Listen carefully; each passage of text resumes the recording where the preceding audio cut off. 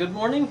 We're back and we're ready for the clearing and stabilizing stage of our wine. Um, if you're doing this at home, this will be uh, kind of like your step three. If it's uh, if you're looking to do the in-store wine workshop, this will be session two um, of our workshop. So, um, just show you quick what we're going to be um, using today. Uh, we have our other ingredients laid out. I have potassium sorbate here that we'll put in. It's going to be a stabilizer to stop any yeast activity. Um, which is essential if we're going to be resweetening wine. Uh, we have a little bit of metabisulfite, which is going to be our antioxidant preservative.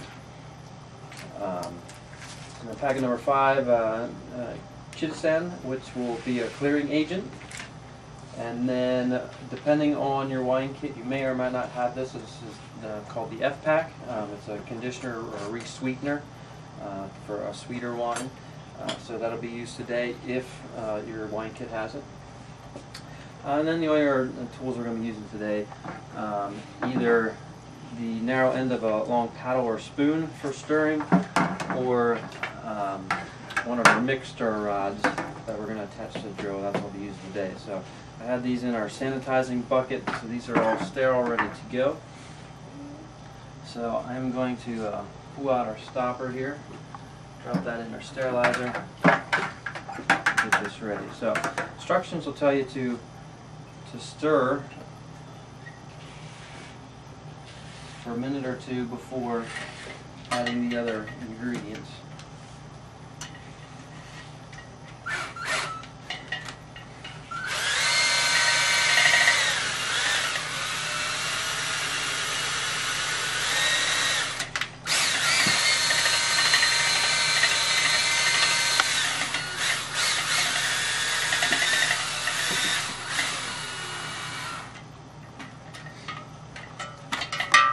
Okay.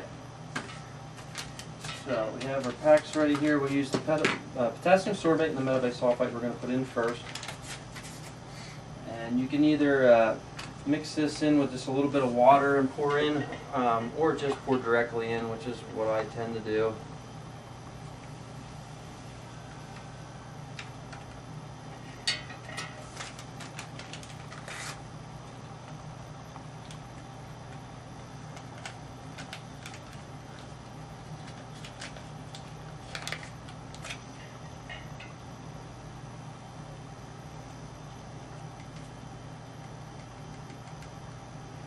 Okay.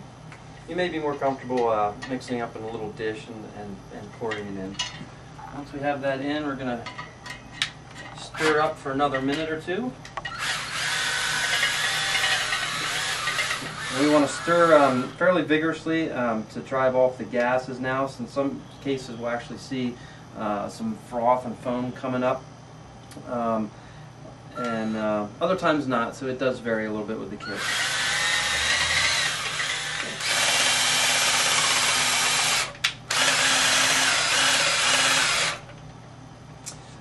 So after several minutes, um, you can see we have a little bit of foam activity there. This one isn't too, uh, hasn't foamed up too much. Uh, I actually have a, a case where it actually foamed up out of the top. There was that much CO2 trapped in. So um, after a few minutes of vigorous stirring, um, with these uh, first additives in, then we're ready to add in our uh, clearing agent.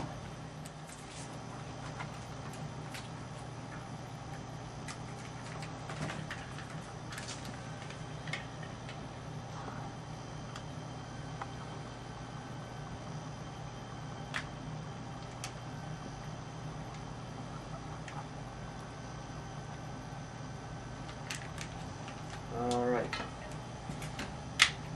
And we'll just stir that in for another few minutes.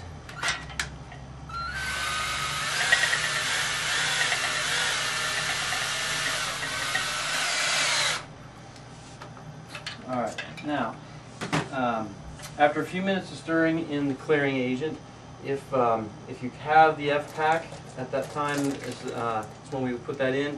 Um, depending on if you follow the instructions, you can see that you can get a, a little bit on the full side. Uh, for the kits that have the F pack, I usually tend this. Oh, by the way, this particular wine we're clearing today, actually we're not doesn't call for the F pack, but I have it here just to, just for a visual.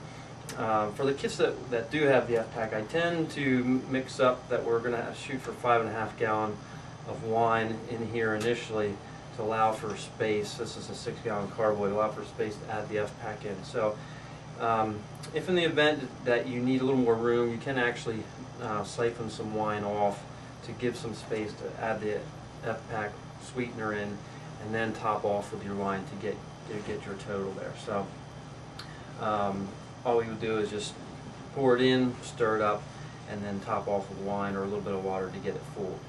Um, and once that's done, we can put the airlock in place, and then we're going to let it sit for two weeks to allow it to clear out. We want to keep the temperature at 70 degrees or above. If it gets below, it can um, inhibit or slow down uh, the clearing stage. So we're going to keep it warm, and in two weeks, we'll be back and ready to bottle. So we'll see you then.